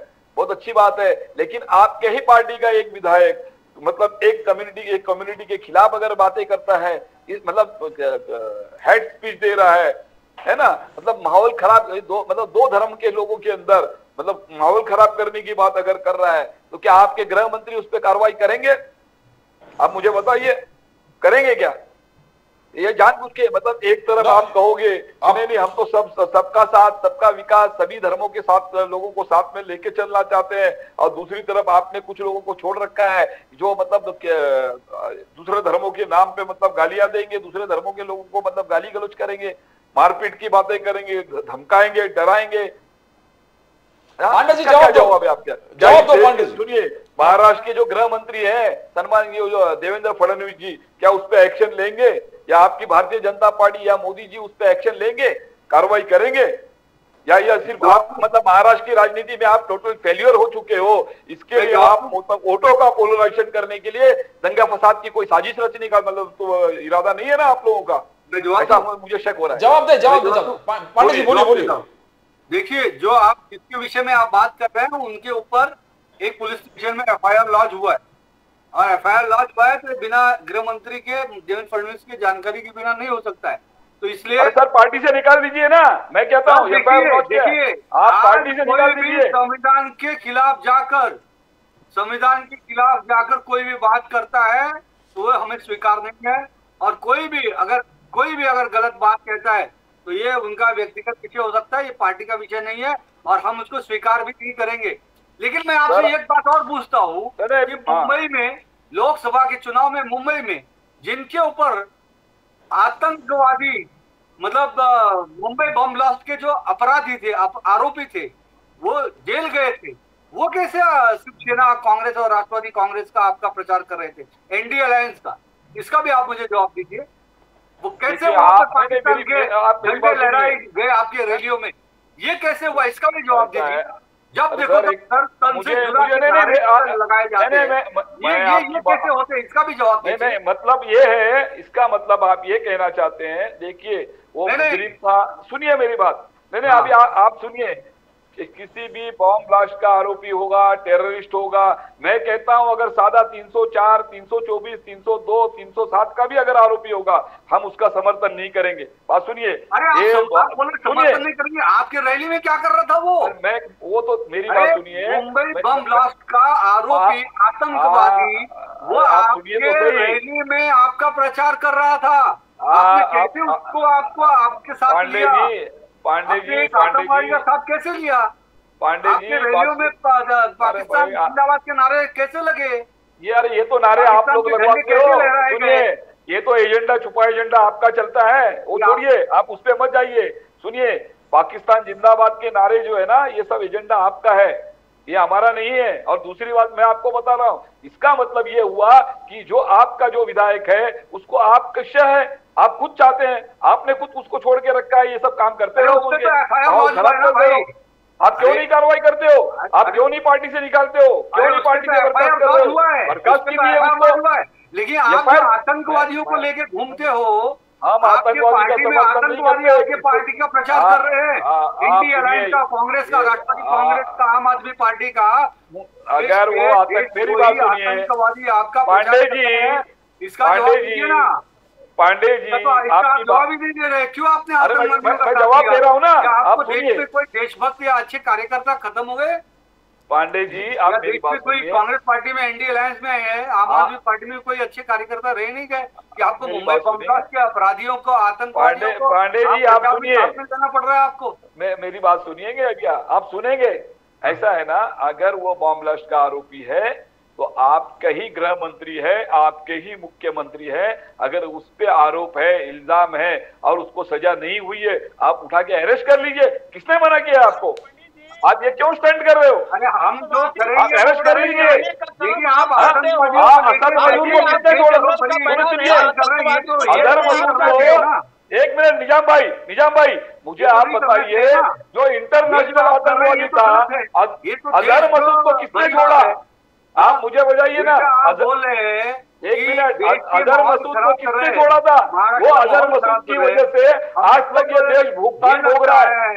आप सुनिए पार्लियामेंट में अटैक हुआ। उसकी वजह से अटैक उसकी वजह से पुलवामा हुआ उसकी वजह से पठानकोट अटैक उसकी वजह से। प्रधानमंत्री नरेंद्र मोदी ने उस पर खुलकर माफ़ी मांगी।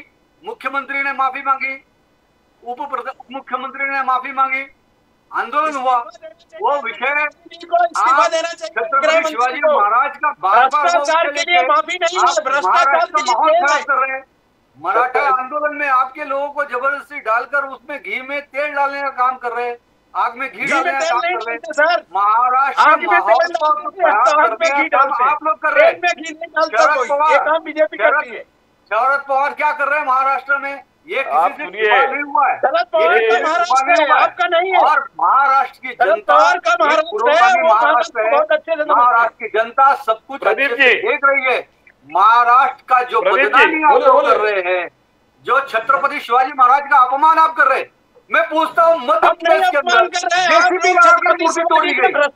जेसीबी हो छत्रपति शिवाजी महाराज का मूर्ति तोड़ी गई। रही उनकी मूर्ति बनाने में। आपके शासन था आपका नगराध्यक्ष था आपके अधिकारी थे उन्होंने छत्रपति शिवाजी महाराज की मूर्ति को तोड़ा कर्नाटक केंद्र में में वहाँ पर कर्नाटक में स्वातंत्र वीर सावरकर के पोस्टर को पैसा गया।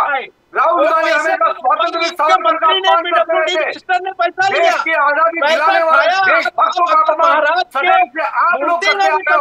और आप हमको सिखाओगे। उल्टा चोर कोतवाल को डांटे।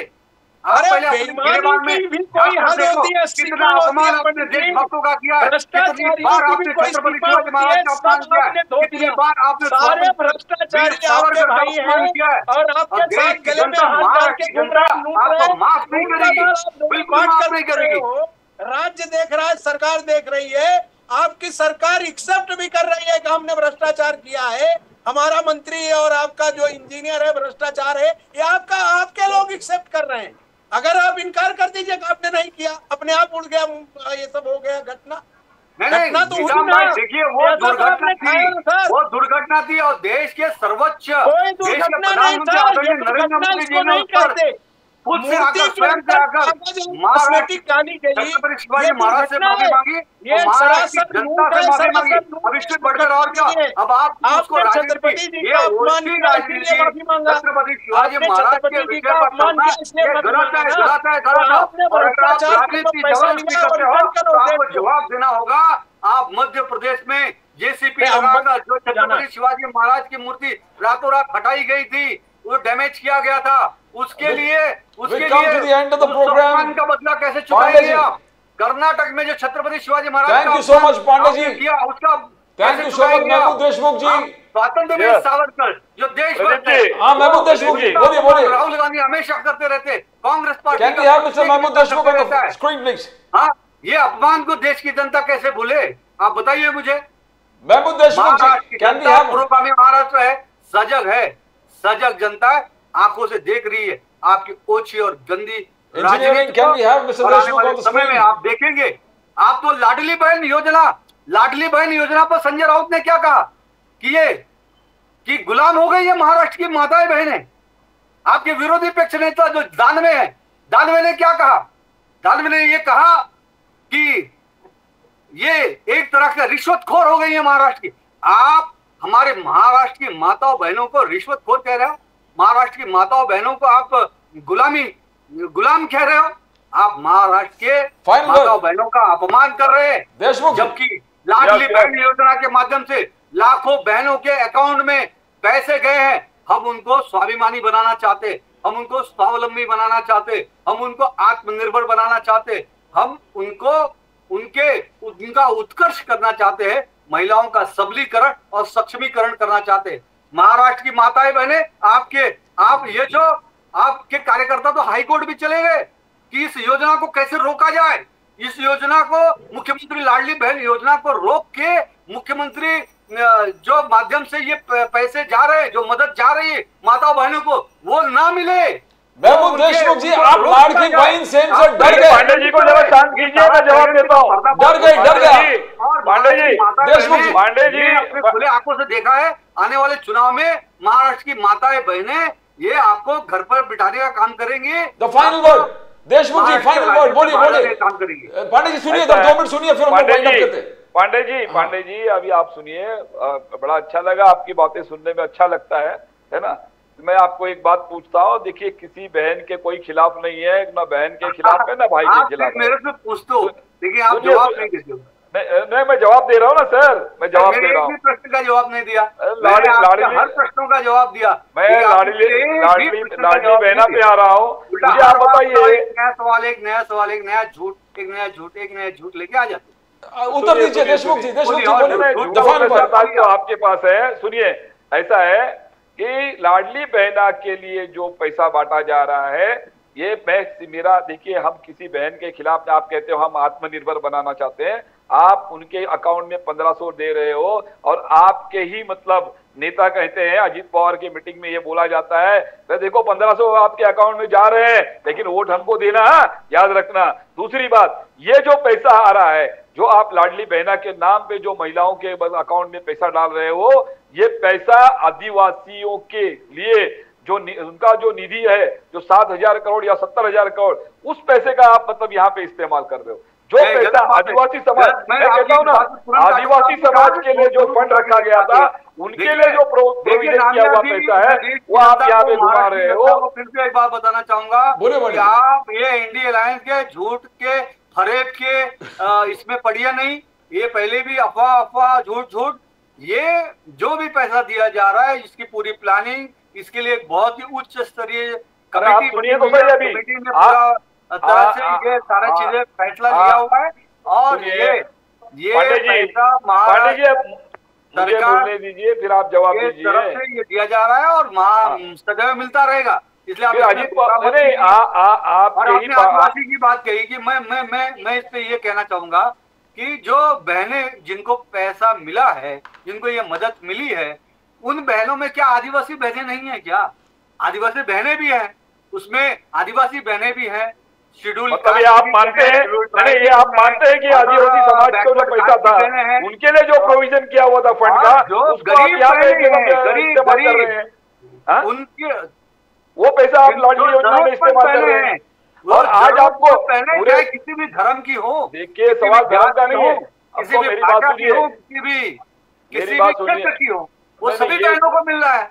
देखिए हम उसके खिलाफ बात नहीं कर रहे हैं। मैं ये जानना चाहता हूँ बात कर रहे हैं। आदिवासी समाज कार्यकर्ता हाईकोर्ट में गए। आपके कार्यकर्ता हाईकोर्ट कांग्रेस पार्टी के कार्यकर्ता हाईकोर्ट में गए कि ये मुख्यमंत्री लाडली बहन योजना को बंद कराया जाए।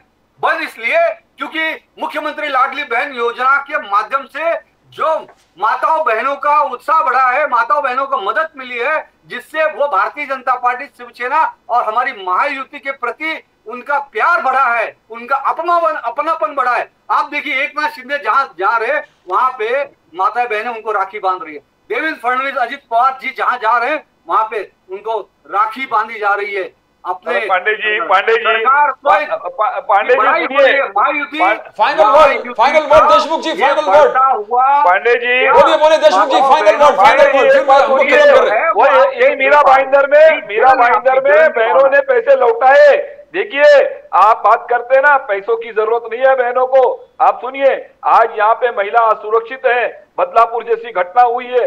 आपने उसको वो सोचिए आप। उस वक्त मतलब महिलाओं ने पैसे रिटर्न कर दिया है है। वो जेल जेल के सड़कों के पीछे गया। लापरवाही जिन पुलिस वालों ने किया वो पुलिस वाले भी सस्पेंड किए गए। लापरवाही किसकी वजह से की? किसके कहने पे लापरवाही हुई? किसके किया गया वो सब किया गया? बारह घंटे प्रेग्नेंट औरत खड़ी रही रास्ते पे। बारह घंटे तक अगर उसका केस रजिस्टर नहीं होता है थैंक यू सो मच कौन सा Pandey ji thank you so much thank you Mahmood Deshmukh ji Shailesh Pandey ji thank you so much for being on the show thank you so much Mahmood Deshmukh ji this will continue for आखिरी ever बात- आखिरी बात सुनिए। हाँ। प्रदीप जी। हाँ बोलिए last minute last minute बोलिए। हाँ। आखिरी बात सुनिए। हाँ। दिलाए बिना चैन की सांस नहीं लेंगे हम नाम बिया आखिरी बात सुनिए प्रदीप जी। सजा दिलाए बिना चैन की सांस नहीं लेंगे बहुत अच्छी बात है। देशमुख जी फाइनल वर्ड बोलिए एक मिनट जल्दी। मैं मैं मैं एक ही बात कहूँगा। पांडे जी एक बात याद रखिएगा आप लोग कितना भी ड्रामा कर लीजिए है ना? लेकिन कितना भी ड्रामा कर लीजिए दो महीने के बाद ऐसे भी आपने एक महीना केजरीवाल जेल में आपके चाचा जेल में आपकी पूरी पार्टी जेल में घोटाले में आप पार्टी सुनिए- ड्रामा और सुनिए सुनिए सुनिए। आप आम आदमी पार्टी की बराबरी नहीं कर सकते। सुनिए अरविंद केजरीवाल अरविंद केजरीवाल एक ईमानदार नेता है। सुनिए अरविंद केजरीवाल जी की बराबरी कोई नहीं कर सकता आपके नरेंद्र मोदी नहीं कर सकते। अब मेरी दुनिया में है। आप उस पर thank you so much thank you Deshmukh ji thank you very much Pandey ji thank you so much आप अधिकार नहीं thank you so much thank you we come to the end of the programme thank you Shailesh Pandey ji thank you Mehmood Deshmukh ji thank you so much it is being a very fantastic discussion fantastic discussion. Very good exchange of information. Very good exchange of valuable information. जो इतना uh, you know detailed in, uh, talk about politics from all and as we always end with the preamble to the constitution we end with the preamble to the constitution which says we the people hereby resolve to constitute india into a sovereign socialist secular democratic republic and to secure to all its citizens justice equality liberty and fraternity justice is social economic and political Equality is equality before the law and equal protection of rights. When you talk about liberties, freedom of speech, expression, faith, worship, and belief. And when we talk about fraternity, eternal brotherhood, believing in the territorial and political integrity of the nation. To subscribe to Nation Now, there's a bell. You subscribe to the channel, you get the latest updates, you get the most valuable news information across India and across the world. And as we say, it's the fundamental duty of all political parties to come together to protect, secure, and make the pillars of the Constitution safe and secure. Because as we always say, if the pillars of the Constitution are safe and secure, the Constitution survives. And if the Constitution survives, the Republic survives. The people of the Republic survive. That's all from Pradeep Nambiar's nation. Now we'll come again with more news from the nation, Maharashtra and Mumbai. Till then, it's bye for now.